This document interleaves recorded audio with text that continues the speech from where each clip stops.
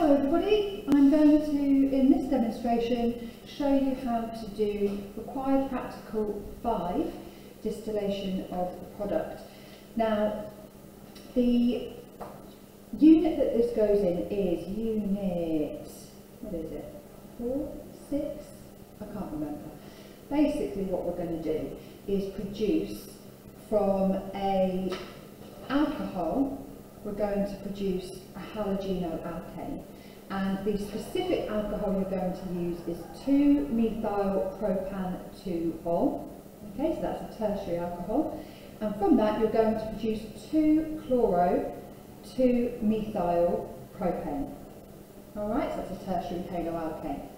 So, I'm going to do this video in a few parts because the practical itself is done in a few parts. So part one is carrying out the reaction itself.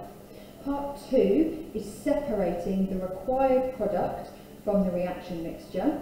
And then part three is to purify the product by distillation. So, first thing I'm going to do, in here, in my clamp and stand, this piece of equipment is called a separating funnel.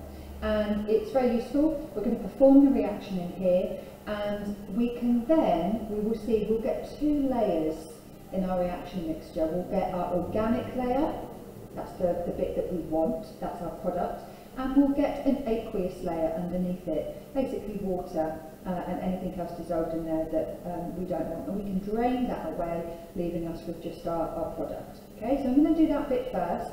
And um, in this small measuring cylinder, I have got this. This is concentrated hydrochloric acid, which should really um, be used, uh, oh sorry, no, I'm lying, that's not in the small one, apologies, that's what I've got in the big one. In the small one, this 10 milliliter measuring cylinder, I have got my alcohol, my 2-methyl propan 2-ol.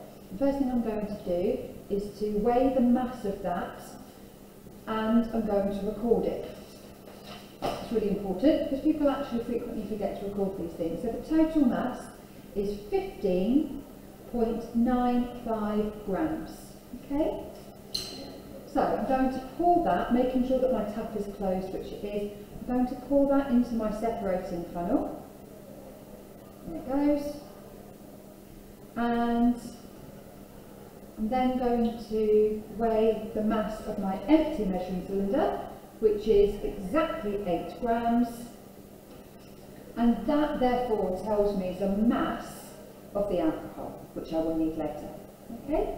Right, next thing I'm going to do, this is the bit, the point at which I add my concentrated hydrochloric acid. Now ideally, we'd use maybe a fume cupboard, um, and actually I did get a little bit on my skin when I was pouring it out, but I'm here to tell the tale, so it's fine.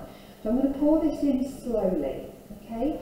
And once it's poured in, I'm going to stopper it, and I need to then not shake so much, but invert, you can see that there are fumes, well you probably can't see it actually, but there are fumes being produced. Um, I need to invert that. Let's just see if it says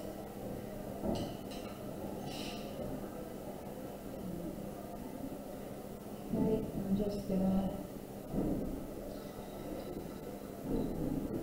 just add it, there we go, I've got a nice kind of slow drip stream of that going in now. I am adding it slightly faster than I would recommend you do, or slightly faster than I would if I were trying to get decent results here. Okay. Next thing I do is I replace the stopper.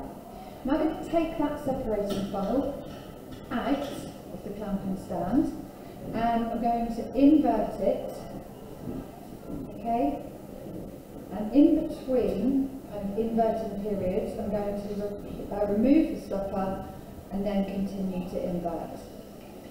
Okay, so periodically removing the stopper. And when you remove that stopper, you will feel a build-up of pressure. There is gas in there being produced.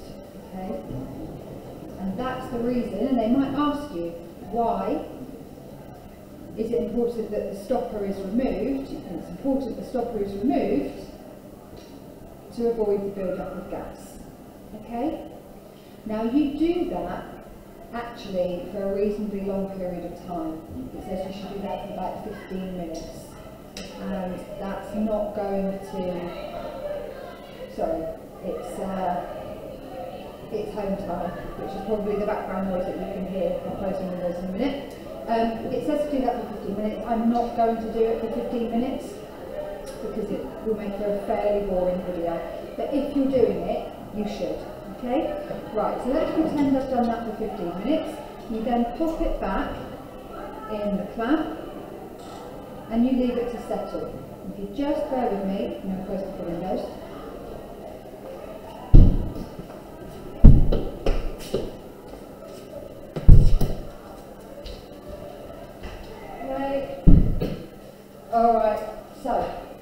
That could have even been some of you not making that noise, who knows. What you'll start to see, and there's every chance that actually um, we won't see in this video because I've not really reacted these very well at all. But what will start to happen after a while is you will get these two different layers and they will be quite distinct.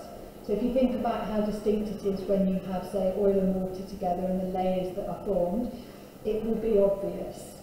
Okay? And so all you then need to do is to drain away the aqueous layer and that leaves you with layer, your product. I'm going to stop this video here. I'm going to let that settle.